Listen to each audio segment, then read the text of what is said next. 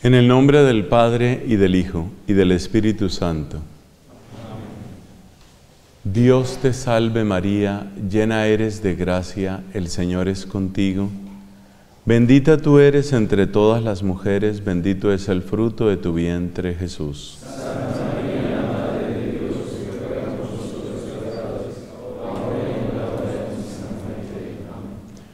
En el nombre del Padre y del Hijo y del Espíritu Santo. Amén. Seguir a Jesucristo es un proceso, es un camino, lo indica la misma palabra.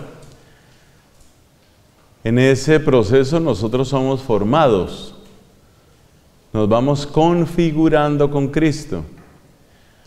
Podemos decir que hay una formación exterior, que son los procesos, como un pensum que hay que cumplir, unas materias que hay que ver, una disciplina, unas normas a las que hay que acostumbrarse. Todo eso es parte de la formación exterior que es importante. Pero más importante es la formación interior. En la formación interior hay unas rupturas que son claves, son los momentos decisivos de las personas. Algunas rupturas son positivas cuando nos resolvemos por Cristo. Otras rupturas son negativas, están constituidas por los desengaños o decepciones, por los miedos que nos paralizan, por las seducciones que nos arrastran. Y el grave problema es que uno puede, uno puede estar roto por dentro y seguir funcionando por fuera. Por eso hay que hacer una excursión, hay que hacer un viaje interior, hay que buscar eso que está sucediendo adentro de uno. Pero uno está blindado, uno se blinda. ¿Cómo se blinda uno? Uno se blinda porque uno se mueve solo entre sus amigos que son como uno. Y uno se da los gustos que uno quiere y uno va solo a los lugares que le parecen atractivos por algún motivo personal. Gracias a Dios, hay momentos que lo despiertan. Son los despertadores o disparadores. Y también hay ambientes que facilitan ese encuentro. Por eso las casas de retiro, por eso los retiros espirituales tienen una cierta estructura. Eso no es caprichoso. Eso no, es ganas de molestar, como dicen. Es algo útil, es algo útil. ¿Por qué? Pues porque ayuda a que la persona tenga el ambiente para acoger lo que Dios le quiere decir. Miremos cómo sucede esto en la Biblia, un ambiente tan diferente definitivamente. Pero ya veremos que tratándose de seres humanos, esos ambientes aunque sean diferentes, tienen elementos muy comunes. ¿Qué encontramos en la Biblia? Vayámonos al pueblo elegido. Podemos decir que el pueblo hebreo es como una imagen de nosotros. Es decir, lo que le sucedió a ellos, dice la carta a los hebreos precisamente, lo que le sucedió a ellos sucedió en figura para nuestra enseñanza. Nosotros aprendemos de lo que ellos vivieron. Y nos vamos a dar cuenta que ellos tuvieron un proceso. En esta predicación, que Dios nos ayude, vamos a referirnos a ese proceso de llegar a su propio corazón, ese proceso interior. Vamos a irnos a ese proceso, como se vivió en el Antiguo Testamento y que tiene un momento culminante en el destierro a Babilonia. El destierro a Babilonia fue lo más espantoso que experimentaron los israelitas en el Antiguo Testamento. Fue algo muy duro. Las cosas que no se podían imaginar ellos, los extremos a los que jamás pensaron que llegarían, fueron cosas que vivieron. Cosas como cuáles?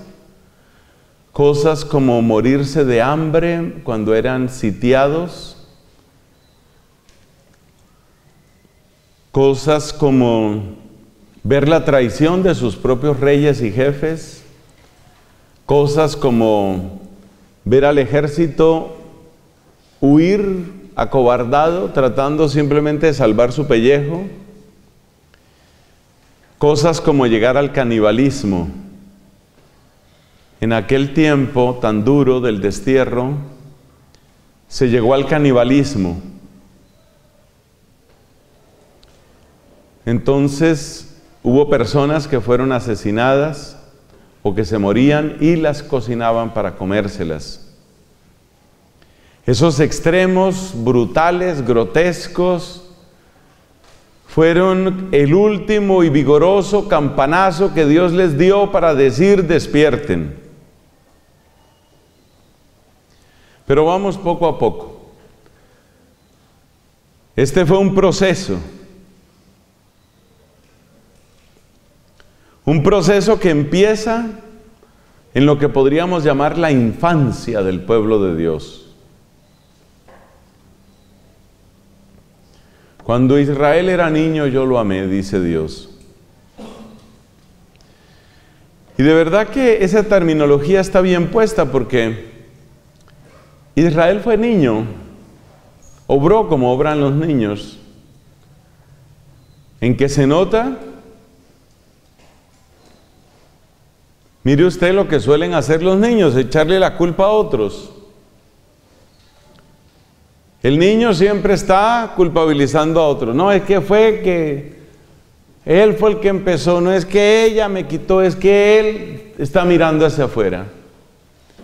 Y así empezó el pueblo de Dios. Vamos a describir el itinerario de ellos en siete pasos. El primer paso es, el problema son los otros. ¿Cuáles eran los otros? Los egipcios. Estos egipcios nos están oprimiendo. El problema son los egipcios. Pero cuando llegaron a Canaán, ah, es que el problema son los filisteos. Filisteo es una palabra un poco general. Filisteo es una palabra que se refiere a los habitantes de Filistín. Filistín es la palabra que está en el origen de Palestina. Los habitantes de la tierra de Canaán tenían ese nombre general o genérico de filisteos. Entonces ahí entraban los hititas, los jebuseos y muchos otros. Siempre el problema estaba afuera. El problema son los ataques de los madianitas. El problema es el ataque de los moabitas. El problema es el ataque de los amonitas. El problema es el ataque de Asiria. Siempre el problema está afuera. Esa es la primera etapa del pueblo de Dios. Ellos creen que el problema está afuera. Cuando uno cree que el problema está afuera, uno cree que el problema se soluciona eliminando al adversario. Que se mueran los adversarios, que se mueran todos esos filisteos y se acaba el problema. Y de hecho, en esa infancia, lo que ellos entienden de la voluntad de Dios es eso, exterminar completamente. Vamos a acabar con todos los habitantes de Canaán y listo, se acaba el problema. El problema está afuera. El problema está en esos pueblos idólatras, opresores, esos son los pueblos que nos tienen en esta desgracia. Pero las cosas no mejoran. Cuando empiezan a darse cuenta ellos de que las cosas no mejoran, a ver, ellos salen de Egipto, llegan a orillas del Mar Rojo, y a orillas del Mar Rojo ya se rebelan contra Moisés. Pero bueno, no les contemos esa rebeldía. la nube que acompaña a los israelitas se pone entre el campamento de los israelitas y el campamento de los egipcios, de manera que no se puede trabar combate. ¿Y qué sucede después? Después de eso sucede que sopla un viento que seca el mar rojo y los israelitas pasan y detrás de ellos se meten los egipcios persiguiéndolos, pero las ruedas de los carros del faraón se traban, ellos quedan atascados en el lecho del mar rojo, las aguas vuelven, los egipcios mueren, los israelitas cantan, Cantaré al Señor, sublime su victoria, caballos y carros arrojado en el mar. Decía el enemigo, los perseguiré y alcanzaré. Se saciará mi codicia, los agarrará mi mano. Pero soplaste, Señor, y los hundiste bajo las aguas formidables. Entonces los israelitas cantan y danzan al Señor. Éxodo capítulo 15. Alabad a mi Dios con tambores, cantadle con gritos de júbilo, especialmente las mujeres con sus panderos cantan, hay danzas, hay gozo, hay alegría.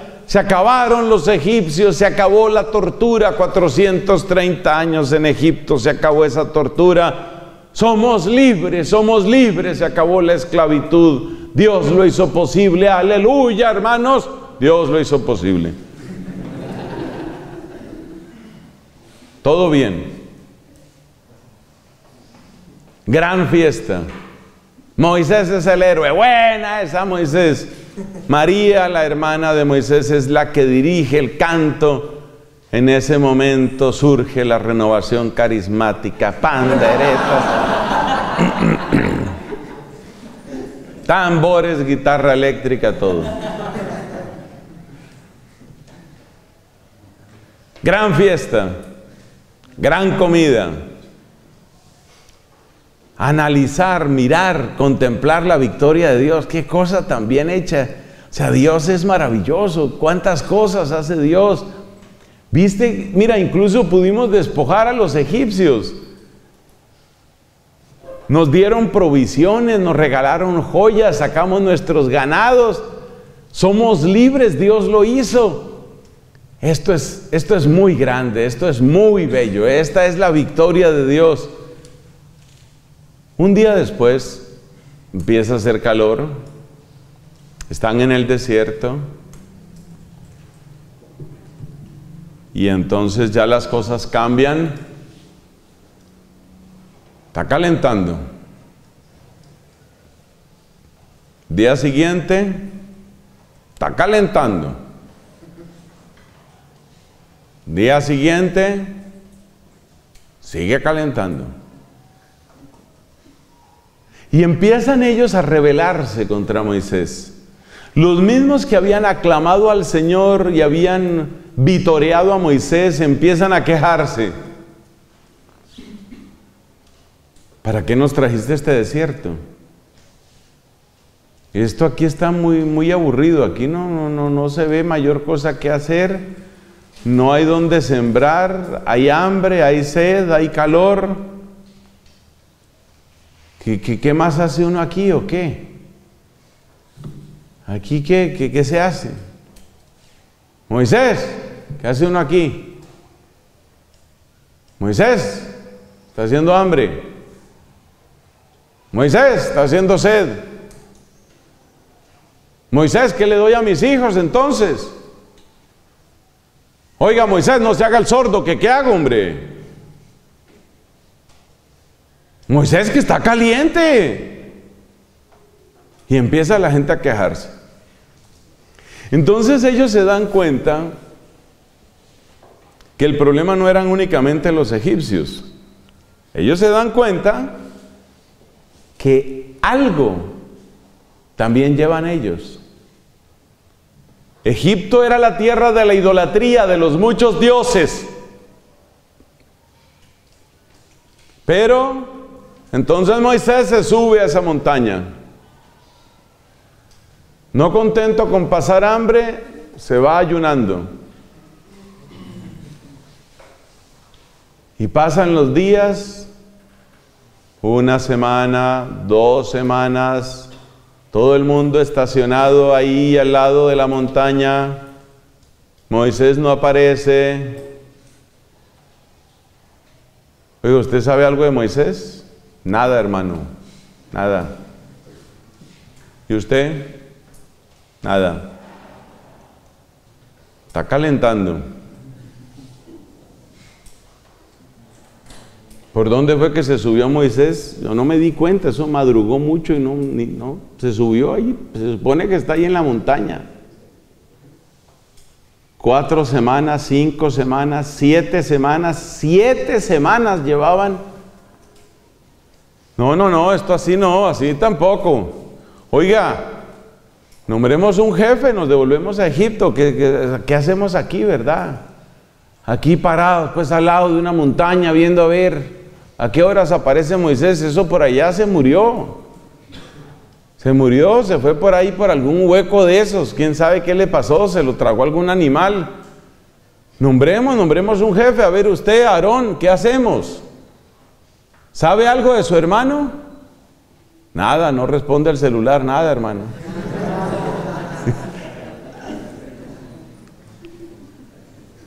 nada, siempre entra buzón. Entramos no sabemos nada de él. ¿Qué hacemos? ¿Qué hacemos? Y les entra una tentación tremenda. ¿De verdad quién nos sacó de Egipto? Pues Moisés, quién sabe por cuál de esos desechos, como dice la gente, quién sabe por cuál de esos desechos se fue, dónde estará. No nos sacó Yahvé. ¿Y dónde está Yahvé? ¿Y dónde está Dios? ¿Dónde está Dios? Entonces había una costumbre en Canaán que era la idolatría del macho cabrío o del carnero.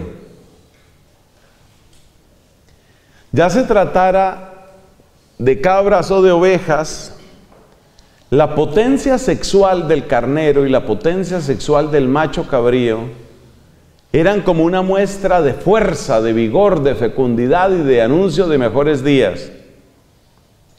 Y esas costumbres que se van regando, que van permaneciendo, que van pasando como de contrabando, Aarón las recuerda a pesar de que han sucedido tantos, tantas cosas y han pasado tantos años.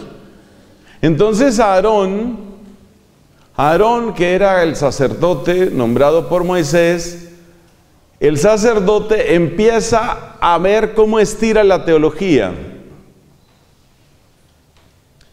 La historia que nos presenta el becerro de oro, que todos ustedes conocen muy bien esa historia, la historia del becerro de oro es el primer caso de estiramiento teológico.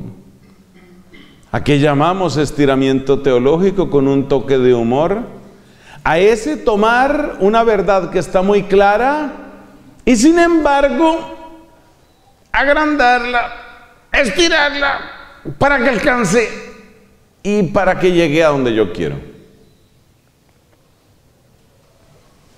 El primer teólogo estirador fue Aarón.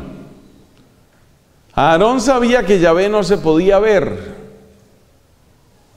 Aarón sabía que Yahvé era invisible. Aarón había visto las obras de Yahvé. Porque acuérdese que en las diez plagas de Egipto, no fueron siete, fueron diez.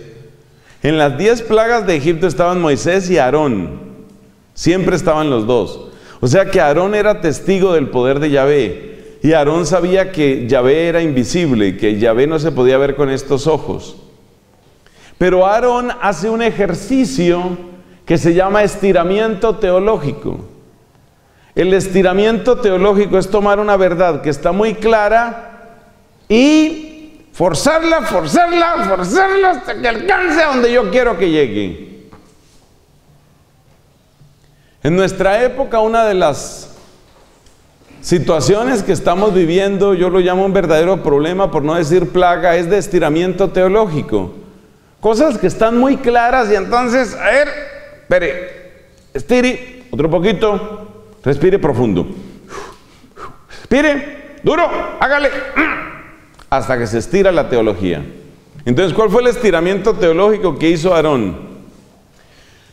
Aarón dijo, mire, vamos a hacer lo siguiente. Hacemos un becerro. Pero ese no es Dios. Entiéndame bien, esto es teología. Este no es Dios. Sino que Dios, que no se puede ver, está montado sobre el becerro. O sea, hacemos el becerro, Dios no se ve, pero Dios sí está ahí montado sobre el becerro. Y todos contentos. Entonces, el estiramiento teológico siempre es un esfuerzo de mantener a la gente contenta. Cuando una exigencia de la fe es demasiado fuerte, a usted como sacerdote siempre le tentará el estiramiento teológico. Alargar, alargar, alargar, alargar, hasta que llegue. Entonces Aarón hizo estiramiento teológico. A ver, traigan por favor lo que haya de oro, lo de oro. Lo echamos aquí al horno y hacemos un becerrito. Y ese becerrito no es Dios, atentos todos, Dios no es Dios, no es Dios. Por favor, repartir volantes a toda la gente, no es Dios, no es Dios. Pero Dios está ahí montadito encima. Entonces usted no puede ver a Dios, pero usted puede ver la cabalgadura de Dios que resulta ser un carnero o un becerro. Y entonces él hace el becerrito ese de oro y la gente se pone contenta. Ahora sí, ya vimos a Dios. Este es Fíjese la inteligencia de Aarón. Este es vuestro Dios que os sacó de Egipto. Él lo decía pensando en el Dios invisible que estaba montado sobre el becerro. Pero la gente, ¿qué era lo que veía? El becerro. ¿Y qué era lo que la gente pensaba? Que el becerro era Dios. Así sucede con todos los estiramientos teológicos. Que usted está tratando de en su mente, en su mente, usted tiene ahí más o menos un montaje, tiene ahí un andamio mental que usted cree que le justifica las cosas, pero la gente lo está entendiendo mal. El estiramiento teológico, ¿por qué se da? Para disminuir la presión de la gente sobre nosotros, porque el Evangelio es demasiado exigente. Entonces el Evangelio dice, lo que Dios ha unido no lo separa el hombre. El Evangelio dice, el que se casa con una divorciada comete adulterio. El Evangelio dice cosas muy concretas. Entonces, ¿qué hace uno? Sabiendo que hay una cantidad de gente separada y una cantidad de gente que ya lleva dos o más matrimonios, pero hombre, son buenas personas, son amigos míos, son parientes míos. Hombre, yo tengo una prima que está viviendo con otro hombre porque no le funcionó su matrimonio. Mi vecino, el que está al frente de la casa cural, y que es muy buena persona y que es el que paga el jardinero y ayuda y contribuye a la parroquia. Entonces, hombre, yo no voy a perder esa almita. A perder el almita esa, ok. Entonces, para no perder esa almita, pues yo no puedo pelear con esa persona. Entonces, ¿qué hago? ¿Qué hago para no pelear? Hago estiramiento teológico. Hombre, es que hay ciertas circunstancias en que realmente la persona pues no tiene más que hacer por el bien de los hijos. Bueno, pero no pueden estar viviendo en adulterio, no, pues no, no, no están, o sea, adulterio, adulterio, que se diga así, bruto el adulterio que están cometiendo, hombre, no es adulterio. No es exactamente adulterio, no, lo llame adulterio, hombre, eso es duro, eso lastima a la gente, la gente se le va, nosotros tenemos que acercar a la gente, no alejarla. Entonces no lo llame adulterio, entonces ¿cómo lo llamamos? No, eso se llama vueltos a casar, los vueltos a casar, ¿ve? Entonces ellos son los vueltos a casar, ah, ya, entonces son los envueltos, no, son los vueltos a casar. Ok, bien, bien, vueltos a casar. No son adúlteros, son vueltos a casar. Ok, perfecto. Eso es estiramiento teológico, ¿no? Entonces vivimos en una época en que desde la alcaldía de Bucaramanga hasta la empresa más miserable pone la bandera de ese arco iris, que todos sabemos qué significa del lobby LGBT. Y resulta que en nuestras familias también tenemos casos de esos. Entonces tenemos hermanos, tenemos hermanas, primas, tenemos vecinos, tenemos amigos. Entonces mi mejor amiga del colegio ahora dice que es lesbiana, mi mejor amigo del colegio fue y se casó en Bélgica con otro hombre. Entonces Hombre, yo no voy a pelear con el mundo entero. Entonces la Biblia dice que los homosexuales, los afeminados no heredarán el reino de Dios. Ay, caramba, qué pasaje tan complicado ese. Ahora, ¿qué se hace con ese pasaje? Fórmula. Estiramiento teológico. Agarre ese versículo, estírelo, estire lo que se da. Estire otro poquito, respire, respire, respire que eso, eso cede, eso cede, eso cede. Respire, agárrale, agárrale. Hasta que al fin lo estiró. Entonces, no, lo que pasa es que ese versículo ya no aplica porque ahora aplica solo la caridad. Ah, o sea que ese versículo en la práctica queda tachado. Sí, en la práctica sí queda tachado, pero eso no le puede decir a la gente. Eso es únicamente aquí nosotros en petit comité. Nosotros aquí en grupito, nosotros los teólogos sí sabemos cómo son las cosas. Entonces a la gente lo que hay es que no ponerle problema con eso. Todos los casos de estiramiento teológico son miedo frente a la opinión pública. Miedo. Ahora, yo no estoy invitando ni a la agresividad, ni al desprecio, ni a la humillación, ni nada de eso, no. Simplemente estoy diciendo que es bueno que usted escoja si va a ser el miedo el que le va a gobernar su vida sacerdotal o qué es lo que le va a gobernar a usted. Es lo único que yo estoy diciendo. Entonces Aarón en esa escena del Éxodo claramente quedó dominado por el miedo. Tanto que cuando Moisés baja y le dice a Aarón, pero ¿qué hizo, hombre? Aarón dice, no, hay que me a matar, hermano. Y es que usted, claro, por allá rezando tranquilo, sí. Pero yo estaba aquí poniendo el pecho y ya viendo a esa gente. Ya cuando yo vi que no había para dónde coger, yo dije, ¿aquí qué se hace? No, pues hagan ahí un becerrito chiquito y eso ahí Dios está encima y ahí más o menos. Es miedo, miedo. No se le debe olvidar esa enseñanza a usted. El estiramiento teológico, que es la negación de lo que la iglesia siempre ha enseñado y de lo que está muy claro en el Evangelio, a través de todo un camino de revelación, el estiramiento teológico es fruto del miedo. Miedo que lo revestimos de muchas maneras. Aarón habló abiertamente de su miedo. Aarón dijo, es que ya me iban a matar si es que no faltó nada. No faltó nada, usted viera, y vino un tipo, me como uno con ochenta y pico, con una viga, y me dijo, ¿qué? ¿Nos devolvemos o qué? yo le dije, espere, espere, espere tantico, espere tantico, mano, espere tantico. Y ya, ya me vi, ya me vi muerto. Yo dije, y después de que este, este man me abra aquí el cráneo, ¿yo qué? ¿Cómo quedo? Llega Moisés y encuentra el charco de sangre, ya me habrán enterrado, entonces ¿yo qué hago? En el caso de Aarón, Aarón claramente tenía miedo. Pero es que el miedo se disfraza de muchas cosas. Entonces uno no va a decir abiertamente tengo miedo, no, no va a decir eso. ¿Por qué? Porque uno trata de conservar una cierta imagen. Entonces, ¿qué dice uno? No, no perdamos la gente. Entonces los revestimos de cuidado pastoral, los revestimos de misericordia, pero la palabra misericordia, lo ha dicho incluso el Papa Francisco, la palabra misericordia es muy fácil de traicionar. Hace cosa de dos meses el Papa Francisco ya dijo claramente sobre el abuso de la palabra misericordia. Yo tenía como cinco años esperando que él dijera eso, pero al fin lo dijo, gracias a Dios que se abusa de la palabra misericordia. Entonces, claro, uno, ¿qué es lo que uno hace?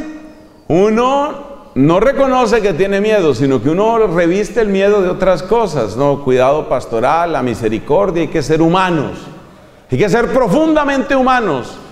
Y yo digo, y entonces Cristo era inhumano cuando dijo, lo que Dios ha unido no lo separa el hombre. ¿Será que hay alguno que sea más humano que Jesucristo, que conozca mejor nuestro barro, que conozca mejor nuestras limitaciones? Alguien conoce mejor al ser humano que Jesucristo.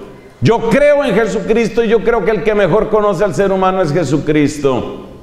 Hay una frase de Gaudium et Spes que le fascinaba a San Juan Pablo II.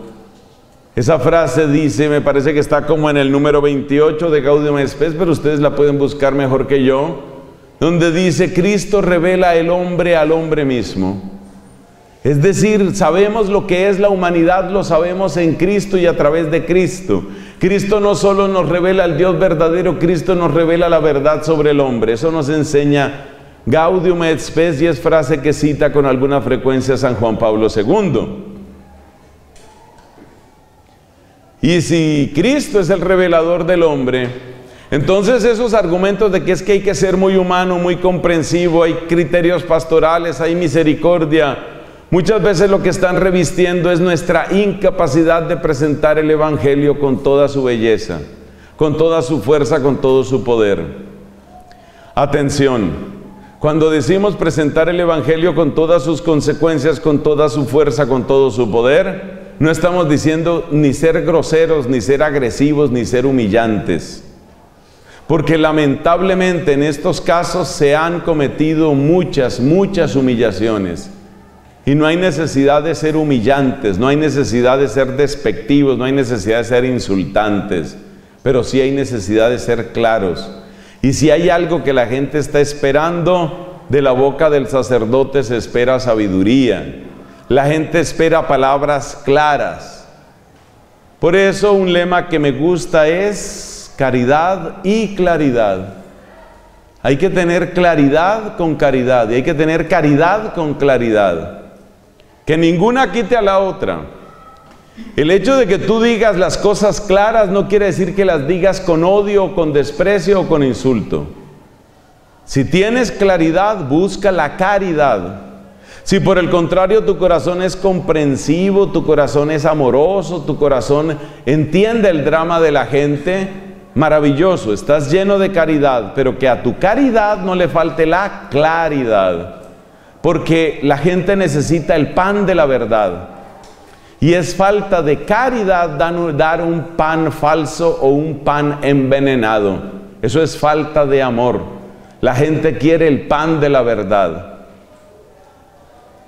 Algunas veces no importa qué tan delicado seas, qué tan respetuoso seas, qué tan paciente seas, habrá ocasiones en que la gente, no importa qué tan respetuoso seas, te maltratará simplemente porque dijiste la verdad.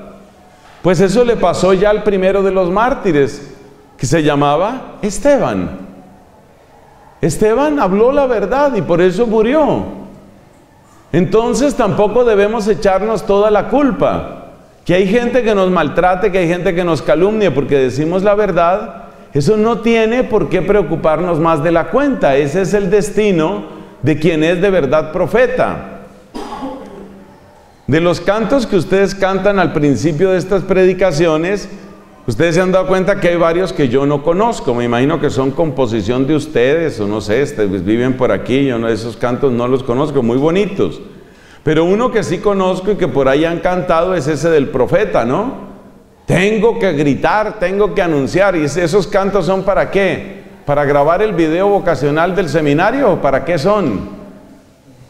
Entonces a usted le toca ser profeta y ser profeta significa sin insultar, sin maltratar, sin tomar una actitud de élite moral, es necesario mostrar los pecados.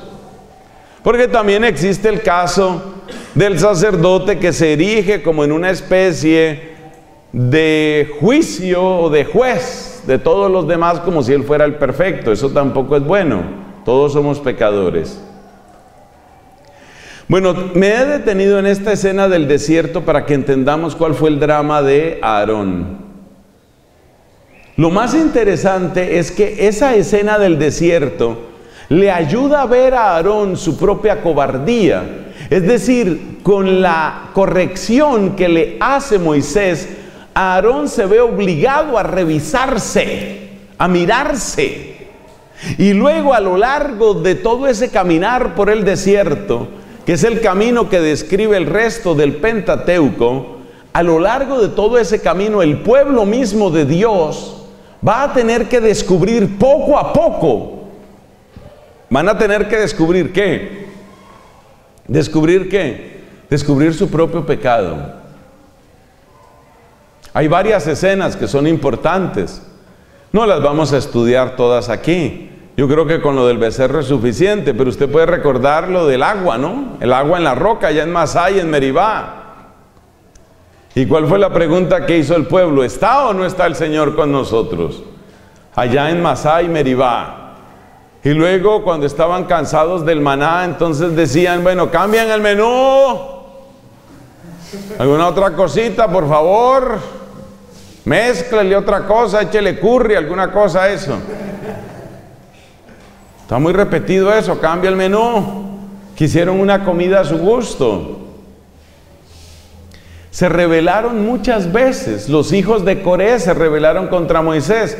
Hubo un momento en el que los mismos hermanos de Moisés se rebelaron. Y entonces dijeron, bueno, ¿y es que Dios solo le habla a Moisés o qué es lo que pasa aquí? No, también nosotros podemos. También nosotros, a ver, Aarón, suelte ahí un oráculo, alguna cosa. Y entonces ahí fue cuando a María, la hermana de Moisés, le dio lepra. Señor la castigó con una lepra. Y luego Moisés tuvo que orar por su propia hermana que se había revelado. ¿Qué, ¿Qué, aprendemos de todo este recorrido? Que aunque el pueblo al principio tenía siempre la tendencia de echar la culpa afuera, la experiencia del desierto y otras muchas experiencias les fueron mostrando, no, no, no, el problema no está solo afuera. Se lo resumo en esta frase. Los ídolos no se murieron en Egipto. Llevamos la semilla de la idolatría en nuestro corazón. Ellos habían dejado atrás los ídolos de Egipto, pero la experiencia del becerro les mostró que ellos también eran capaces de hacer becerros. Ellos también eran capaces de hacer ídolos. Ellos también llevaban la semilla de la idolatría. Dicho de otra manera, el problema también está adentro. Bueno, segunda escena, son siete escenas. Vamos a ver cuántas alcanzamos a ver. Segunda. La segunda escena se llama ciclos de conversiones a medias. Es lo que nos cuenta el libro de los jueces.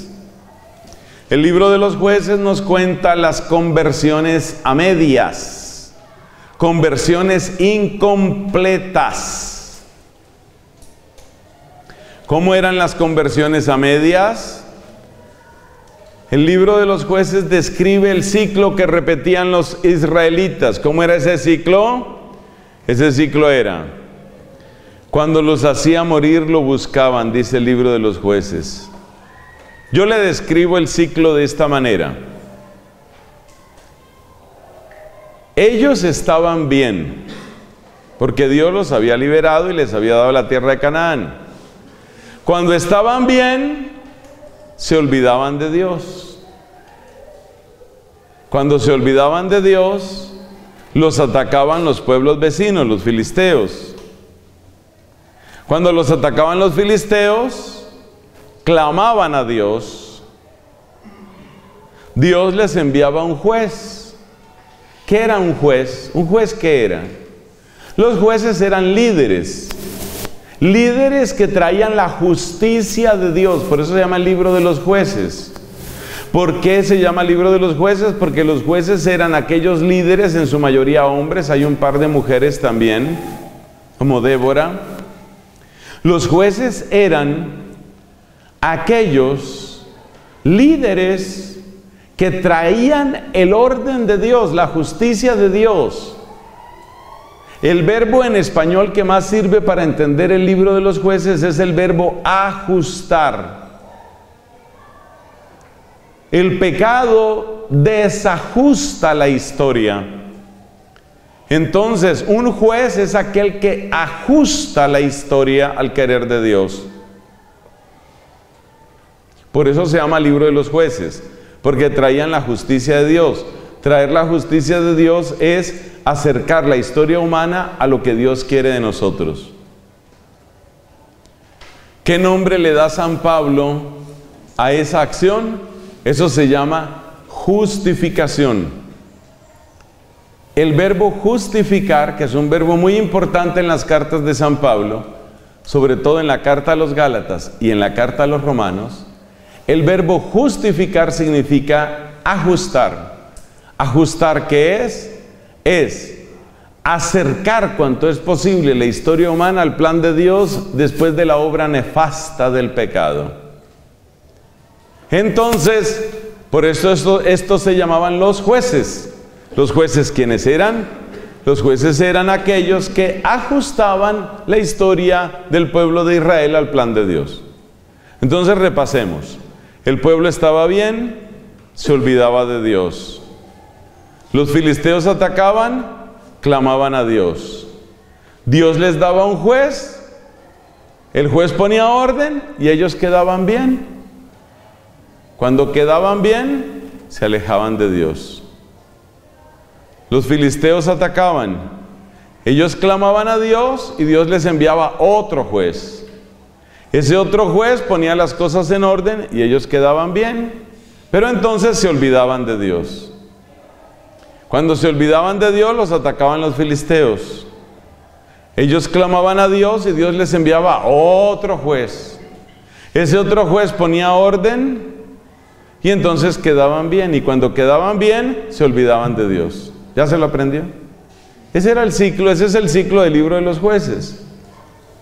Ese ciclo del libro de los jueces es bueno sabérselo, es bueno conocerlo y es bueno sabérselo porque eso es más o menos lo que uno hace cuando uno tiene una conversión a medias. Una conversión a medias, ¿qué es? Que cuando estoy en la inmunda, cuando las cosas me están saliendo mal, clamo a Dios, ay Diosito, Diosito, ayúdame, ayúdame. Dios me ayudó, la situación mejoró, me alejo de Dios. Cuando me alejo de Dios, entonces resulta que hubo otro problema, ay Diosito, Diosito, Diosito, ayúdame. De manera que uno hace el mismo ciclo del libro de los jueces. El libro de los jueces es muy interesante porque muestra ese ciclo. Ese ciclo se repitió muchas veces, lo cual usted puede deducir por el hecho de que el libro de los jueces contiene tantos nombres. Los más conocidos son Gedeón, Jefté, Débora, Barak, Sansón. Estos son algunos de los más conocidos, pero hay muchos más. Porque el periodo de los jueces duró bastante. Piense usted que el periodo de los jueces dura desde la entrada en la tierra de Canaán, que es más o menos en el año 1250, hasta la llegada del rey Saúl, que es más o menos en el año 1030 o algo así antes de Cristo. O sea que son más de 200 años. Durante esos más de 200 años los israelitas dieron muchas veces vueltas en el ciclo que he presentado y que ahora se lo vuelvo a repetir. Cuando estaban bien, se olvidaban de Dios, atacaban los filisteos, clamaban a Dios, Dios les daba un juez, estaban bien.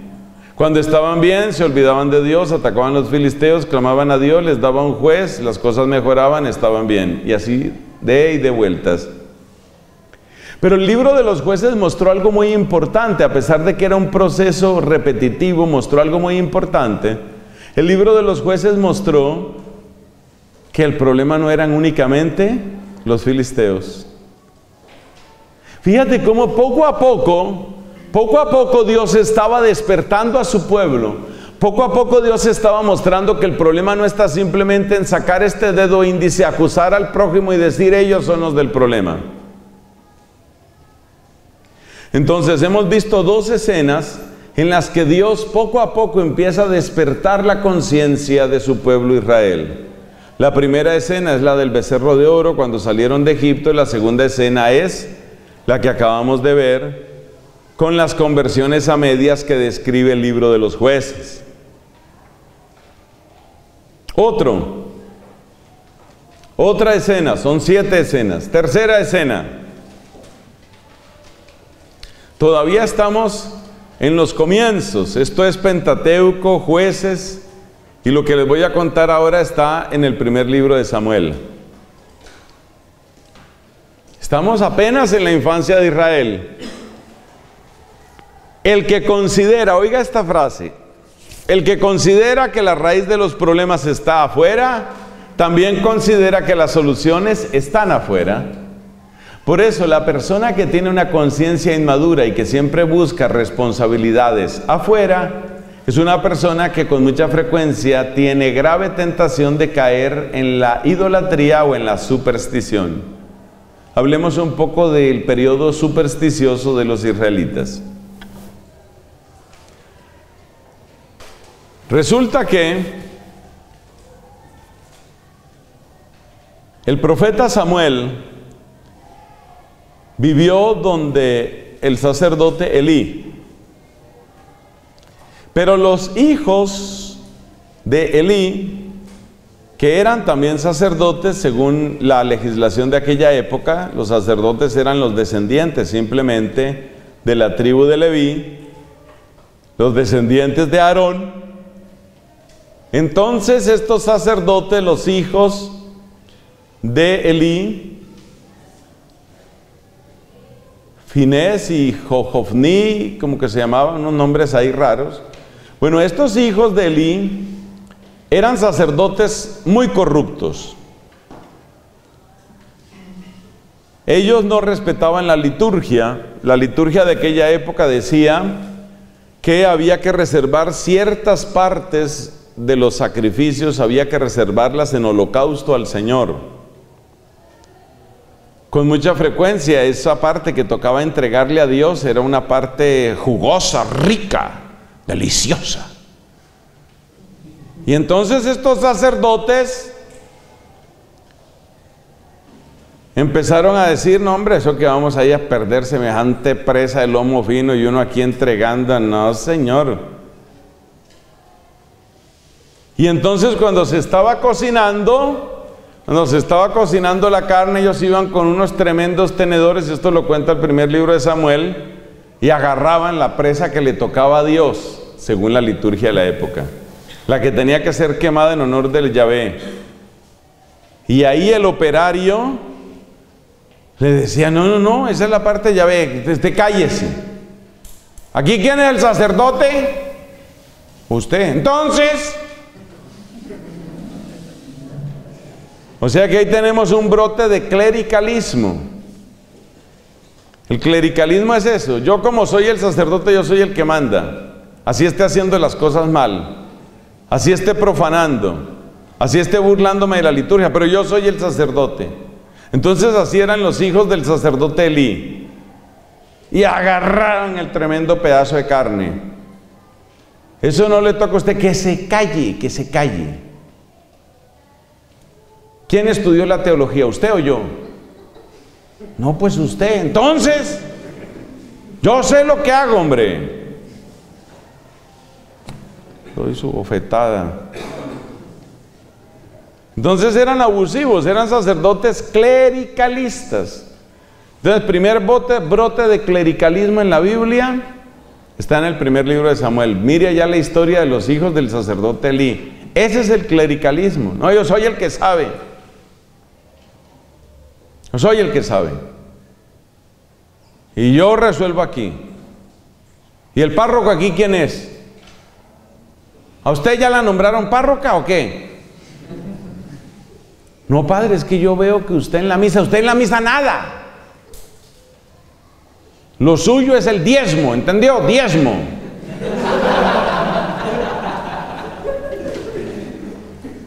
Sacerdote soy yo, yo.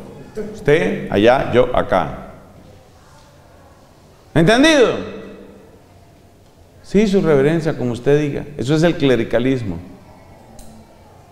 Entonces el sacerdote se pone por encima de la liturgia, por encima de la ley.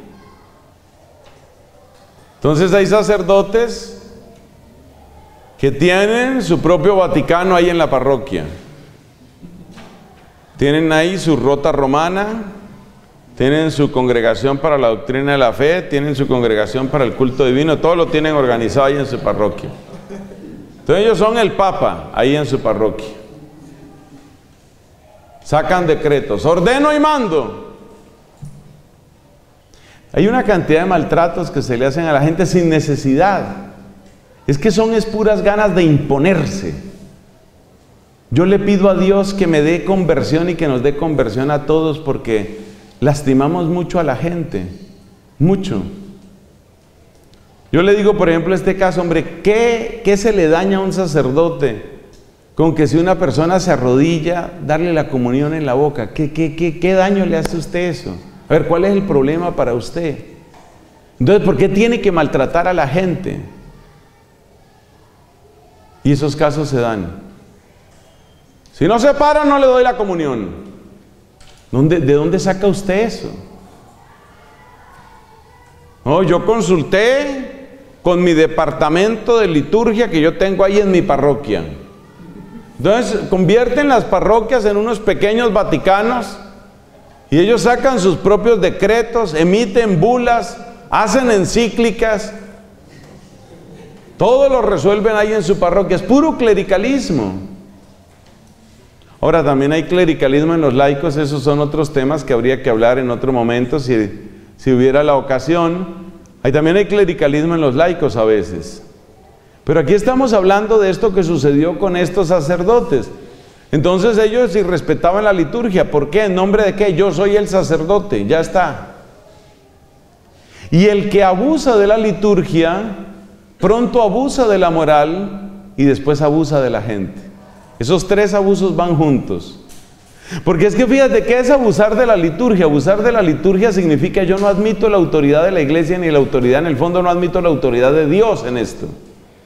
Por eso el que abusa de la liturgia abusa luego de la moral, porque no quiere ponerse tampoco un límite en términos de qué es lo bueno y qué es lo malo. Entonces, a lo sumo tendrá una moral para la gente y otra moral para él. Yo tengo otra, otra, otra moral. Hay un código de derecho canónico para la gente y hay otro código de derecho canónico para mí. El que abusa de la liturgia después abusa de la moral y el que abusa de la moral después abusa de la gente. Claro, porque el que abusa de la moral borra el límite entre lo bueno y lo malo. Y una vez que tú borras, corres, alteras el límite entre lo bueno y lo malo, quiere decir que vas a convertir en bueno lo que a ti te guste, lo que a ti te convenga, lo que a ti te agrade. Y vas a convertir en malo lo que a ti no te convenga, lo que a ti no te guste, lo que no vaya según tus intereses. Entonces el que abusa de la liturgia, abusa de la moral y termina abusando de la gente. ¿Y por qué abusa de la gente? Por eso, porque ya no hay un límite entre lo bueno y lo malo. Entonces, ¿qué hay de malo? Al fin y al cabo, pues bien dicen que amor es amor, caray. Entonces venga para acá, mi hijita, que aquí yo le puedo enseñar muchas cosas. Esta gran santa, a la que yo personalmente le debo tanto, Santa Catalina de Siena, ella habla de eso, de los abusos de los sacerdotes, y cuenta cómo, con mucha frecuencia, el sacerdote empieza a manipular el lenguaje religioso simplemente para satisfacer sus gustos o pasiones. Una cosa horrenda que sucedió en aquella época fue que algunos sacerdotes decían, no, espere, que es que este pecado solo se lo puedo sacar de esta manera. Un caso que se dio, eso fue en otra diócesis, ay, pero fue una cosa tan escandalosa. Un caso que se dio por allá en una diócesis, es que había un padrecito que era misionero y siempre andaba con una señora o con una mujer ahí en todo caso. Y es que, ay, mire, ustedes van a creer que yo me estoy inventando esto. Pero esto sucedió en Colombia. Lo que pasa es que no le puedo decir la diócesis, no debo revelar. Pero esto sucedió en Colombia y no fue aquí. Entonces el padre andaba, el misionero andaba con su misionera. Bueno, vamos a suponer que la cosa estaba correcta. En una época ellos misionaban y bueno, está bien, hacían misión, ok, hacían misión. Pero en un momento dado resulta que el demonio empezó a atacar a esta señora. El demonio la atacaba mucho, entonces la solución para que el demonio no la atacara es que ella no debía dormir sola.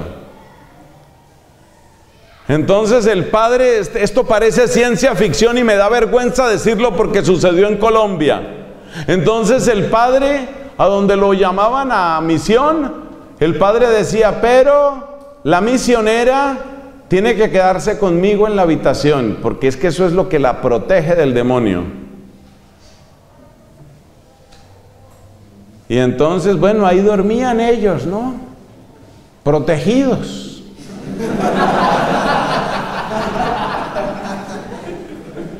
Y la tentación que uno tiene es decir, ¿la estaría protegiendo el demonio o la estaba, o la estaba contaminando con, con su manera de, ser demonio? Entonces, hermanos, el que abusa de la liturgia abusa de la moral y después abusa de la gente, casi siempre en materia sexual o de dinero. Y el que abusa, es que los abusos siguen así, mire, se abusa primero de la liturgia, luego de la moral, luego de la gente y luego de qué? Luego de la teología. ¿Por qué? Porque entonces me toca cambiar el mensaje para que el mensaje no me denuncie. Entonces le acabo de presentar la escalera de los abusos. La escalera de los abusos es la escala degradante en la que entramos los sacerdotes se abusa de la liturgia, luego se abusa de la moral, luego se abusa de las personas y luego para que la Biblia no me castigue, para que no me reprenda, para que la enseñanza de la teología no me reprenda, se cambia la teología. Eso fue lo que les pasó a los sacerdotes estos, los hijos de Eli. Ellos eran así. Entonces ellos empezaron abusando de la liturgia, luego abusaron de la moral, ¿Y cómo abusaron de la moral? Pues ellos abusaron de la moral porque entonces empezaron a cambiar las costumbres, lo que Dios había mandado, los mandamientos de Dios, y entonces empezaron a cobrar por sus servicios y cobraban en especie. Y nos dice el primer libro de Samuel, y la manera como ellos cobraban era obligando a las mujeres a que se acostaran con ellos. Ya abusaron de la gente, ¿ve? Eso no falla. Uno no tiene que ser un robot en la liturgia, uno no tiene que ser un esclavo en la liturgia, no por Dios. La liturgia no puede ser simplemente seguir un programa de computador 1, 1.1, 1.2, 1.21, 1.22, 1.23, 1.3, 1.31. No, esa no puede ser la liturgia, la misa no puede ser eso. Pero la misa tampoco es para que yo invente lo que yo quiera, ni los sacramentos son para que yo invente lo que yo quiera. Bueno, estos sacerdotes se encontraron en una tremenda situación cuando atacaron los filisteos. Oiga, atacaron los filisteos y qué derrota, qué derrota para los israelitas. Les dieron duro. Y entonces se reunieron los ancianos de Israel y dijeron, oiga, ¿y esto por qué pasó? Pero observe lo que dijimos, una frase que le solté hace unos minutos. Cuando uno está acostumbrado a ver el mal afuera, uno busca también el bien afuera. ¿Y el bien afuera qué es? Convertir en superstición o en fetiche las cosas de Dios. Entonces los sacerdotes estos Jofni y el otro, su hermano, dijeron, ¿sabe por qué derrotamos? ¿Por qué fuimos derrotados? Perdón, ¿sabe por qué fuimos derrotados? Fuimos a la batalla sin el arca de la alianza. Hubiéramos ido con el arca, vencíamos, vencíamos. O sea, ¿en qué convirtieron ellos el arca? En un amuleto, un talismán, un fetiche. Las cosas de Dios convertidas en fetiches. Entonces, dijeron ellos, bueno, esto no puede ser. Semejante derrota no puede ser. Hay que luchar contra esos filisteos. Bueno, ¿y por qué hablo del arca? Porque resulta que en el santuario de Silo, que era donde era sacerdote Elí, era donde estaba el arca. O sea que ellos eran los custodios del arca. Estos tipos que irrespetaban la liturgia y que andaban abusando de mujeres, estos tipos eran los custodios del arca. Y por eso a ellos se les ocurrió la brillante idea de llevar el arca al campo de batalla. Y efectivamente, pues fueron con el arca. Y cuando los israelitas vieron que el arca de la alianza de Yahvé estaba con ellos en el campamento, un inmenso clamor se levantó, un grito estentóreo que llegó hasta las filas de los filisteos. Los filisteos escucharon ese grito, ¿y esto qué es? Y entonces uno de ellos respondió, su Dios está con ellos.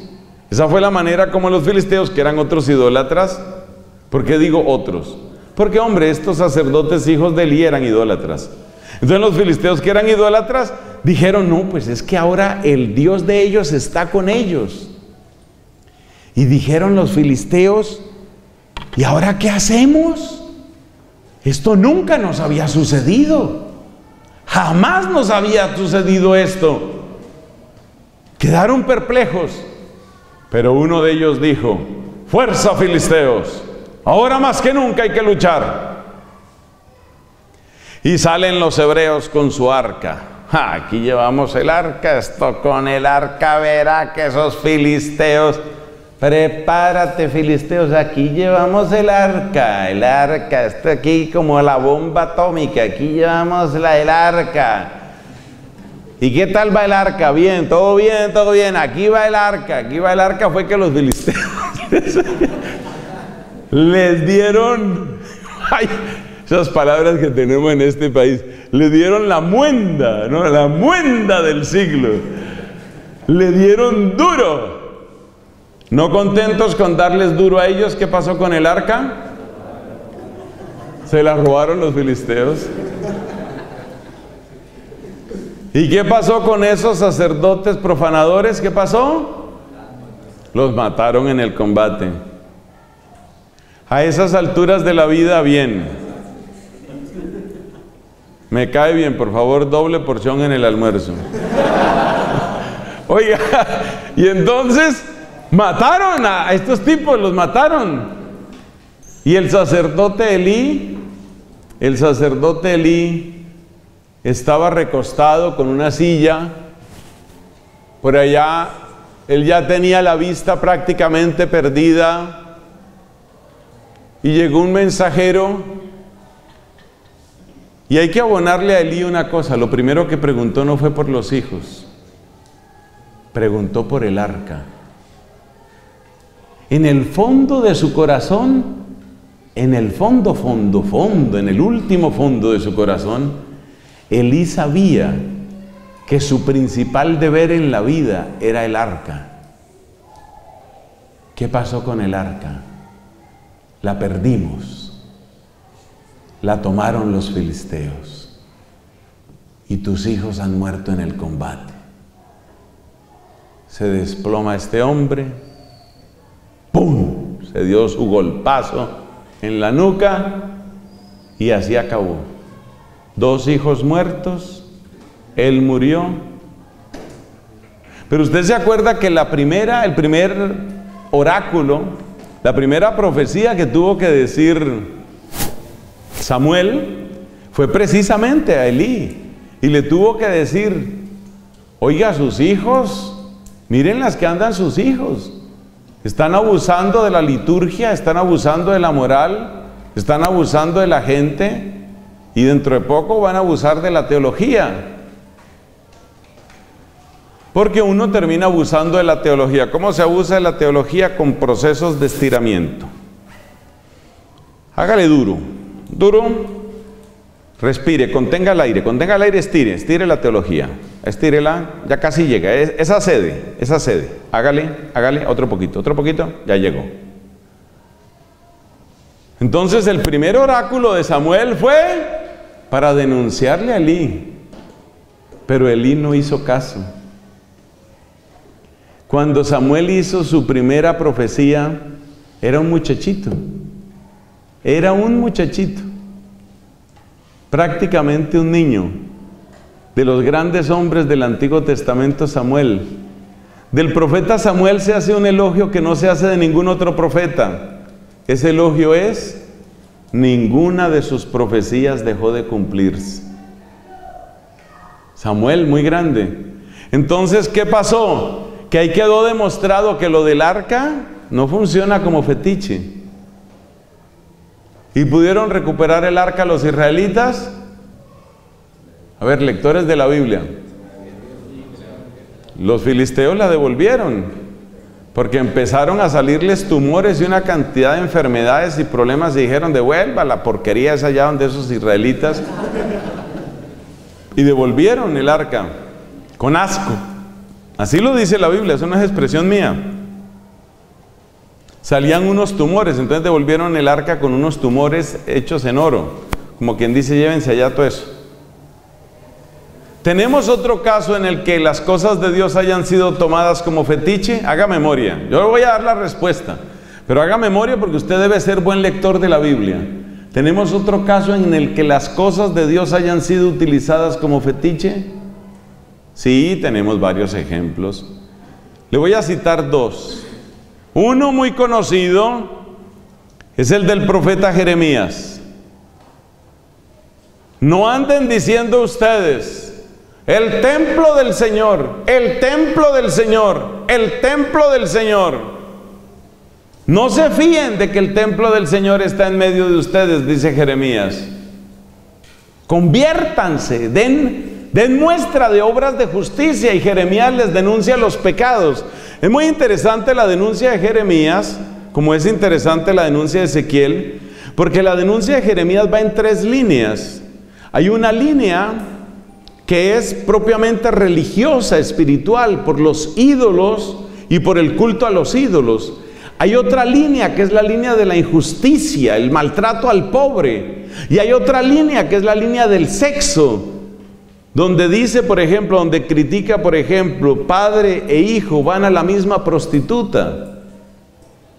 Entonces es interesante la denuncia del profeta. Yo no sé, yo miro eso del profeta Jeremías y me hace pensar, miro eso del profeta Jeremías y me hace pensar en algo, en que las líneas de denuncia parece que siempre son esas. La, la línea de denuncia religiosa, espiritual, la línea de denuncia de justicia social y la línea de denuncia de la familia y el sexo. Y hoy por hoy, mire usted en dónde la iglesia tiene que hacer más denuncias y usted verá que es eso. Continuamente es, nos estamos apartando de la fe, continuamente es, hay maltrato para los más pobres, continuamente es, cuidado con los pecados de sexo y con la destrucción de la familia. Entonces Jeremías llama vigorosamente al pueblo a la conversión y les dice, no se fíen del templo, no se fíen. El hecho de que tengamos el templo no significa que todo está resuelto. Y otro ejemplo, aparto mi rostro cuando ustedes ofrecen sus sacrificios. ¿Acaso necesito yo grasa de carneros? ¿Acaso necesito yo sus sacrificios? Cuando Dios rechaza los sacrificios, por ejemplo, por boca del profeta Isaías. Entonces tenemos señales en el Antiguo Testamento de que tres veces por lo menos los israelitas cayeron en un uso supersticioso de las cosas de Dios. Volvieron supersticioso el arca, supersticiosa el arca, volvieron supersticioso el templo, un uso supersticioso del templo como si fuera un amuleto, como quien dice, mientras tengamos el templo no nos pueden hacer nada los demás pueblos. Y un uso supersticioso de ¿De qué? De los sacrificios. En el Nuevo Testamento, y con esto terminamos, en el Nuevo Testamento va a aparecer otro uso supersticioso, distinto de los que he mencionado. Por favor, máxima concentración, olvídese de que tiene hambre, olvídese de la hora y piense, ¿cuál es otro uso supersticioso que aparece? Especialmente le digo en los evangelios. En los evangelios aparece un uso supersticioso de una práctica religiosa convertida realmente en un obstáculo para el encuentro entre Dios y el hombre. ¿De qué estoy hablando? Bien, el sábado, bien. El sábado se había convertido en una especie de fetiche. Ellos interpretaban el sábado como si hubiera que paralizarse. Y entonces Jesús los confronta y les dice, y si a usted se le cae su buey o su asno en un pozo en el sábado, lo deja ahí porque es sábado. Entonces, hermanos míos, ahí vamos avanzando con este tema. Hemos visto tres escenas en las que el pueblo de Dios se ve confrontado profundamente. ¿Cuáles fueron nuestras tres escenas? El becerro de oro. Porque eso demuestra que el problema de la idolatría no era solamente salir de Egipto. Llevamos el problema de la idolatría adentro. Tenemos problema en nuestro propio corazón. El corazón humano, por si le gusta esa frase, el corazón humano es una máquina de fabricar ídolos. Y por eso continuamente hay que estar purificando el corazón, hay que estarlo limpiando.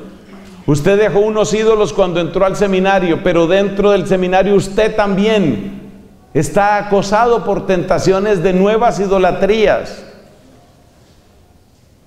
Y así todos nosotros. Entonces, en primer lugar, el ejemplo del becerro. ¿Cuál fue el segundo ejemplo que dimos?